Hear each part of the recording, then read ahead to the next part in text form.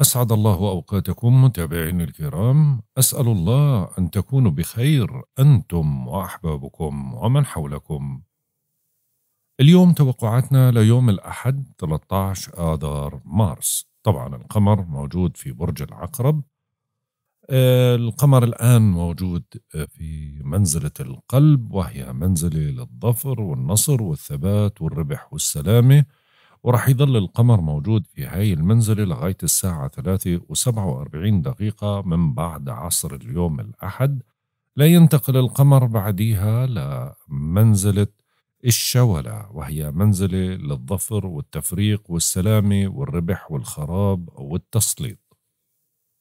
طبعا القمر بما إنه موجود في برج العقرب معناته في هاي الفترة بنكون أكثر تطرفا في تصرفاتنا يا منحب بشدة يا منكره بشدة. نشعر بالانتقاد والغيرة وحدتهم وبيلعب الجنس دور ملحوظ في حياتنا. يجب أن نسيطر على مشاعرنا بشكل جيد لأنه ممكن ننفجر في من حولنا تحت وطأة ضغط عاطفي محبط.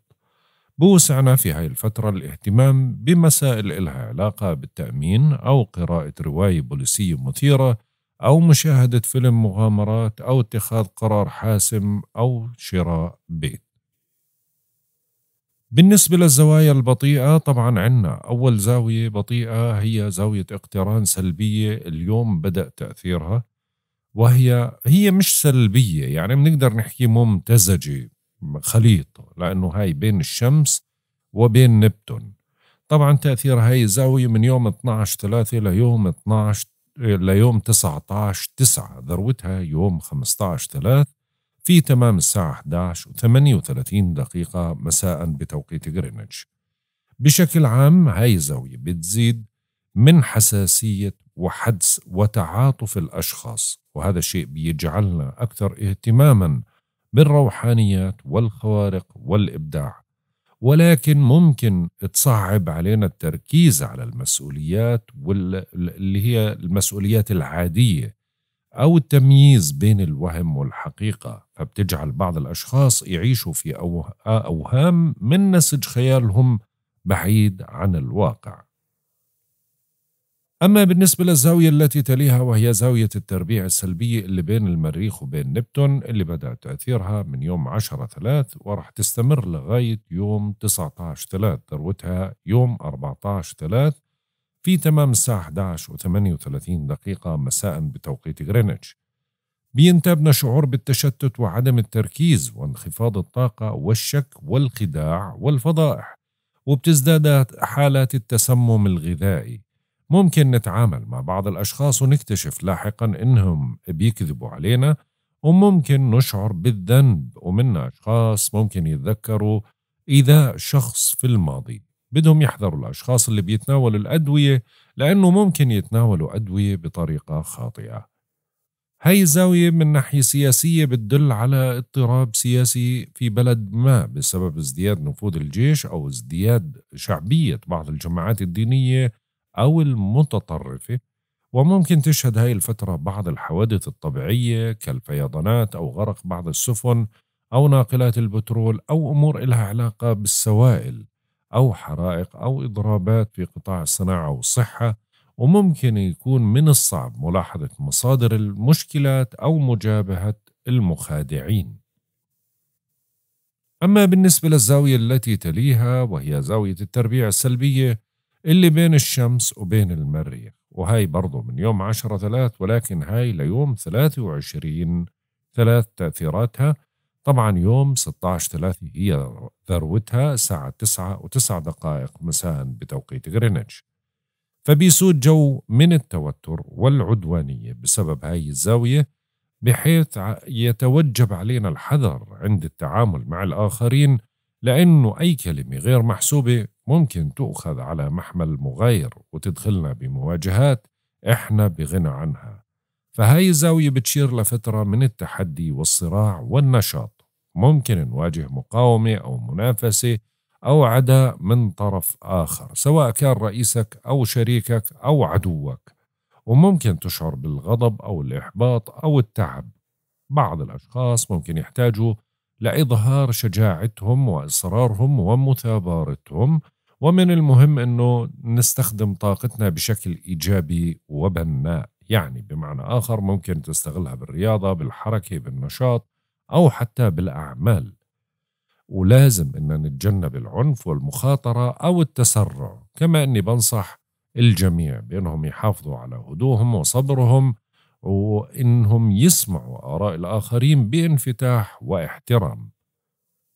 دوليا بترتفع وتيرة المواجهات والتفجيرات في البؤر الساخنة أو الأعمال العنف بشكل عام أو احتجاجات عامة.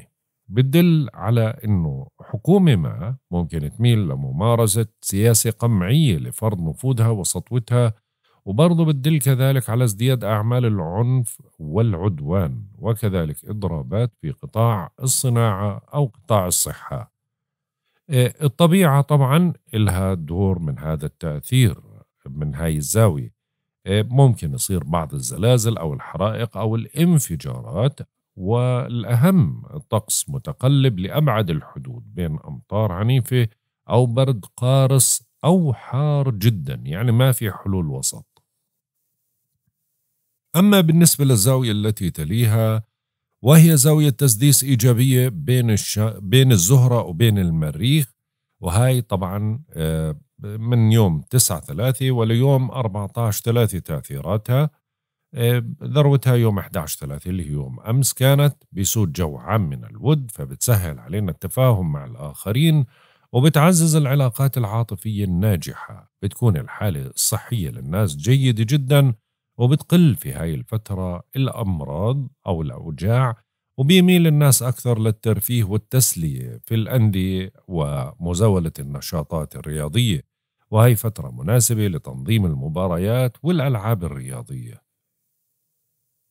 أما بالنسبة للزاوية التي تليها وهي زاوية تسديس إيجابية بين عطارد وبين أورانوس وهاي طبعا تأثيراتها مستمرة لغاية يوم 13 ثلاث مننشط فمنباشر بأكثر من مسعى في أكثر من اتجاه في نفس الوقت. وممكن هاي برضو الزاوية تعزز قدراتنا العقلية فبتسهل علينا حل وفهم مسائل علمية تعذر حلها مسبقا. وبنشعر بالثقة وبقوة الحدس الموجودة لدينا.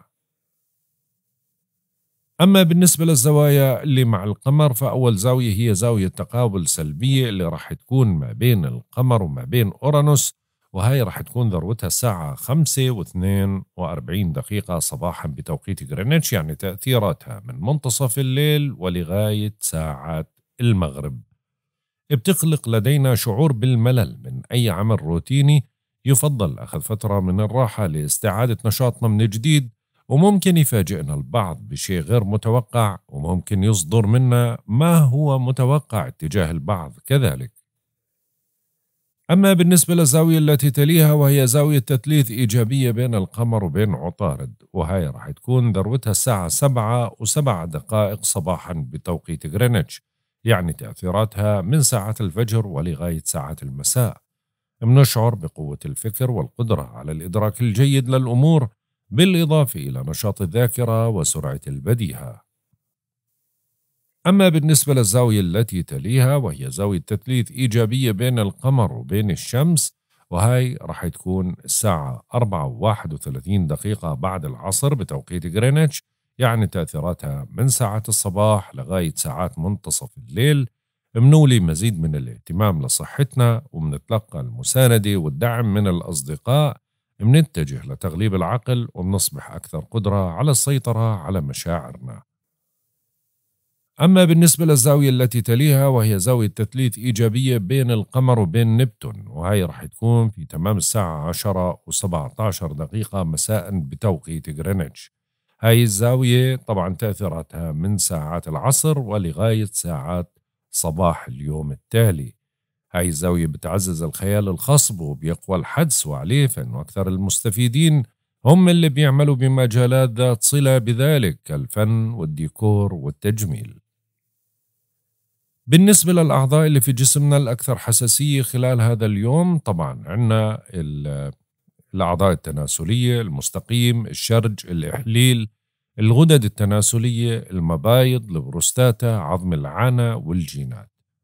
بالنسبة لهذا اليوم طبعا يوصى بإجراء العمليات الجراحية لكافة أعضاء الجسم ولكن دون الأعضاء هاي اللي ذكرناها الآن مناسب لعمليات التجميل مثل الحقن وأيضا الجراحة ويصلح هذا اليوم لإزالة الشعر الزائد ولكنه لا يصلح للقص العلاجي يصلح لقص الشعر التجميلي والصبغ والحناء.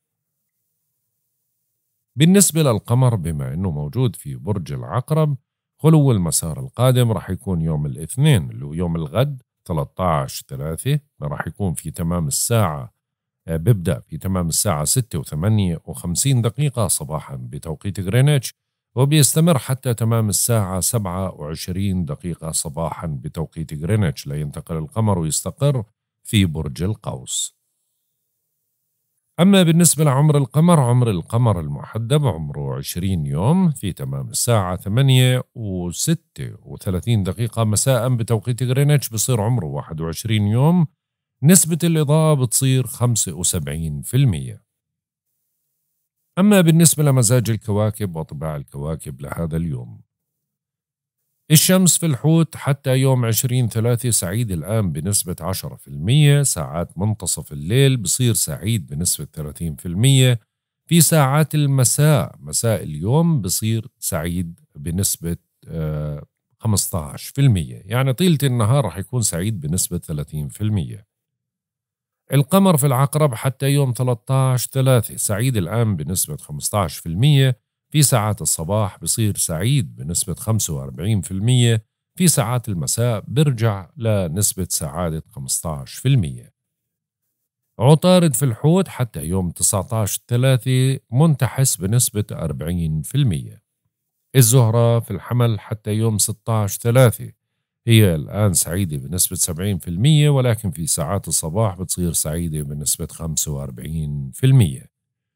المريخ في الجوزاء حتى يوم 25 3 سعيد بنسبة 15% المشتري في الحمل حتى يوم 16 5 سعيد بنسبة 15% زحل في الحوت حتى يوم 17 6 آه، سعيد بنسبة 15% أورانوس في الثور حتى يوم 29 8 سعيد بنسبة 15% ونبتون في الحوت حتى يوم 30 6 سعيد بنسبة 15% وبلوتو في الجدي حتى يوم 23 3 برضه سعيد بنسبة 15%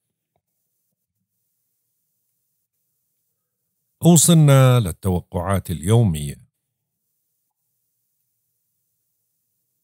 برج الحمل. بالنسبة لمواليد برج الحمل طبعا اليوم بيحمل فرصة لمكسب مالي مصدر شراكة أو تعويض ولكن صحتكم أو صحة قريب لإلكم بتكون بحاجة للرعاية. ممكن يتغير الوضع لصالحكم مع شرط التحلي بالليونة والدبلوماسية في التفاوض. ممكن تضطر لتقديم التنازلات أو تصحيح الأخطاء.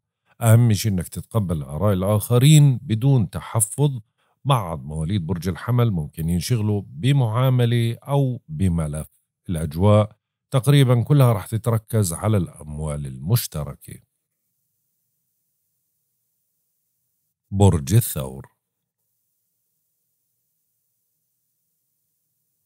بالنسبة لمواليد برج الثور طبعا بينصب تفكيركم حول تدعيم شراكاتكم. القمر مقابلكم تماما فعشان هيك بدكم تحافظوا على هدوء أعصابكم ونبرة صوتكم. خلوا علاقاتكم بالتفاوض مع أزواجكم أو مع شركائكم بشكل مرن. أهم شيء إنه اليوم ما تعرض لقائك أو لقاءاتك للفشل آه، بتحمل هاي الفترة نوع من أنواع التوتر لأنها تعتبر من أكثر أيام الشهر ضغط. عشان هيك بدك تحاذر من الخصام. ما تعادي أحد تجنب الخلافات كليا. خصمك قوي وطباعك مش هادئة. برج الجوزاء. بالنسبة لمواليد برج الجوزاء طبعا القمر صار موجود في البيت السادس فعشان هيك الاهتمام كله رح يكون على العمل وعلى الصحة. حاولوا انكم تنجزوا ما بوسعكم من العمل المتراكم نظموا جدول غذائكم خذوا قسط كافي من الراحة ممكن ترتاحوا لسير بعض الأمور. الروتينية بالرغم من كثافة العمل فعشان هيك بدكم تراعوا ظروفكم الصحية. ممكن تعيدوا لترتيب الأوضاع يعني أو تجروا بعض التحسين على أحوالكم. الأجواء تقريبا فيها بعض المزايا اللي إلها علاقة بالعمل اللي ممكن تكون لصالحكم. برج السرطان بالنسبة لمواليد برج السرطان طبعا اليوم بتجتازوا يوم إيجابي بيبعث على البهجة والانشراح وما بيتخلى الحظ عنكم ماليا أو عاطفيا. الطاقة عالية والحظوظ عالية والعواطف جياشة. فرصة مناسبة لتحقيق إنجاز. أهم شيء أنك تضع مخاوفك جانبا وما تتهرب.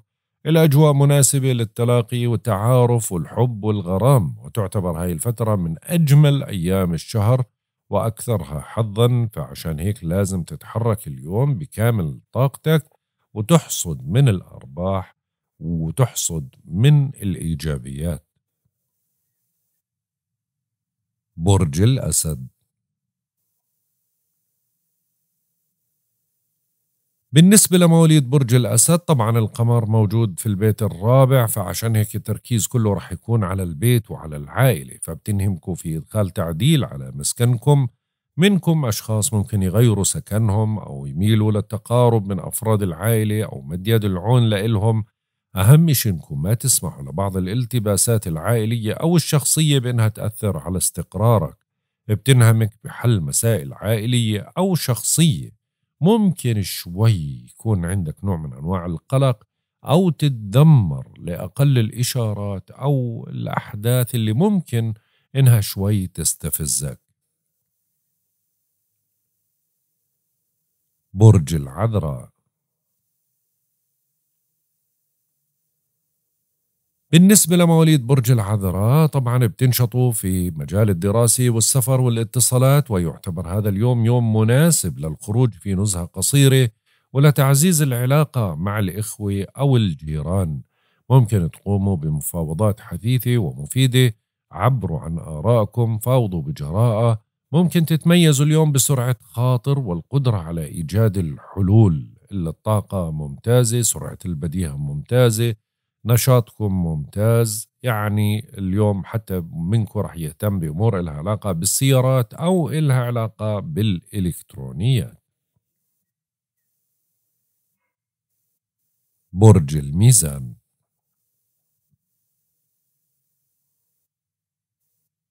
بالنسبة لمواليد برج الميزان طبعا بينصب اهتمامكم حول ضبط ميزانيتكم والفرصة متاحة للحصول على مال بيكون هذا المال على الأغلب من عمل إضافي وبتتحسن عندكم المعنويات وبتقوى الثقة بالنفس بتختفي الهموم وبتطمئن هواجسكم. أهم شيء إنكم توظفوا أموالكم بشكل حكيم.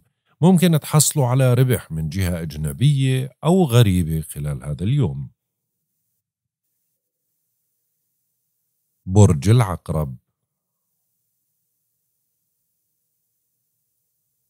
بالنسبة لمواليد برج العقرب طبعا اليوم أنتم عندكم نشاط وحيوية وبينجذب لكم أفراد من الجنس الآخر وبإمكانكم تبادروا لخطوة جديدة من شأنها أنها تدعم من مركزكم الاجتماعي. بتستعيد حماستك وبتنطلق في تنفيذ خطة أو فكرة جديدة.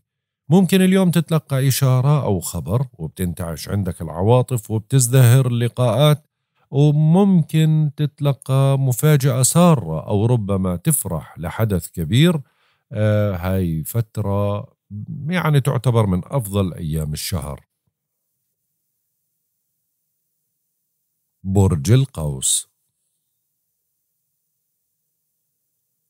بالنسبة لمواليد برج القوس طبعا يوم آخر غير مريح صحيا ونفسيا بسبب وجود القمر في بيت المتاعب. رغم عدم وجود أي مخاطر حاولوا أنكم تنجزوا فقط ما بوسعكم من العمل الضروري واخلدوا للراحة ابعدوا عن المغامرة والرهان على الحظ. ممكن تعانوا من تراجع في الأرباح المعنويات الحيوية. أهم شيء أنكم ما تجازفوا بسلامتكم. تعتبر هاي فترة فارغة من الحظوظ فعشان هيك ما بننصح باتخاذ أي قرارات خلال هذا اليوم. برج الجدي بالنسبة لمواليد برج الجدي طبعا اليوم بتنشطوا اجتماعيا وبتلتقوا أشخاص بترتاحوا لصحبتهم بوسعكم تحقيق أمنية بمساعدة صديق وتعتبر هاي فترة مميزة للتحالف للتعاون للمشاركة الفعلية.